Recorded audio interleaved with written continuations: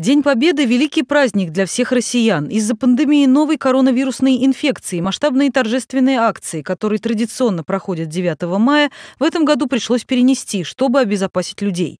Теперь, когда эпидобстановка в стране постепенно стабилизируется, президент принял решение провести парад 24 июня, а шествие бессмертного полка предварительно назначено на 26 июля.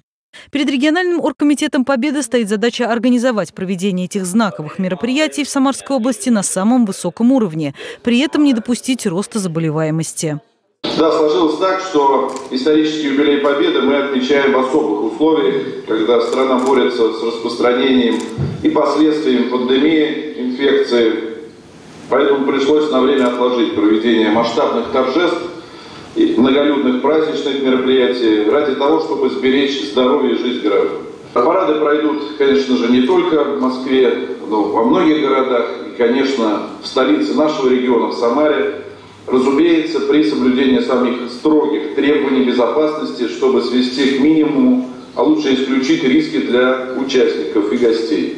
Ограничительные меры не помешали региональному оргкомитету «Победа» провести практически все акции, запланированные в этом году.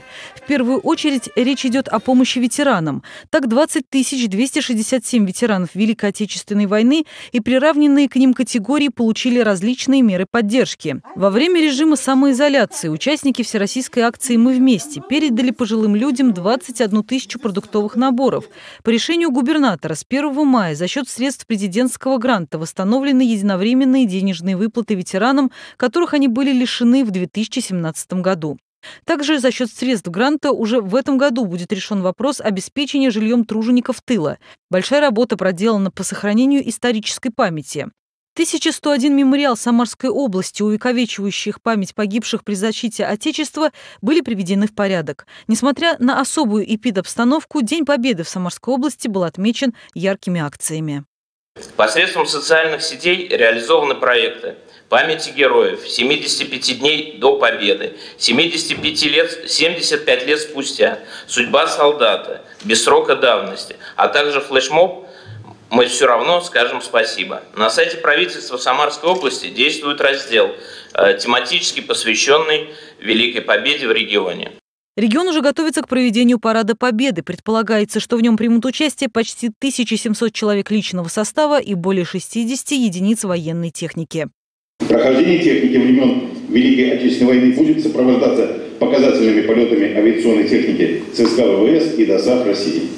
Кроме того, по улице Чапаевской в районе площади Куйбышева планируется организовать выставку вооружения и военной техники Министерства обороны Российской Федерации. По предварительным расчетам военный парад будет проходить в течение одного часа. Пока из-за опасности заражения COVID-19 в регионе рассматриваются два варианта проведения парада – со зрителями и без. Если эпидемиологическая обстановка позволит провести парад со зрителями, чтобы соблюсти требования социального дистанцирования, количество мест на трибунах будет сокращено до 5000. С целью осуществления контроля проведения термометрии при проходе на военный парад зрителей через КПП будут также привлекаться медицинские сотрудники на каждый контрольно-пропускной пункт. В зависимости от количества приглашенных зрителей на трибуны планируется привлечь медицинских сотрудников лечебных учреждений в необходимом количестве. Кроме того, будет соблюден масочный режим. На входах людям будут предлагать обработать руки антисептиком. Чтобы предотвратить массовое скопление людей на точках входа, организаторы составят график прибытия зрителей на площадь. Лариса Шлафаст. События.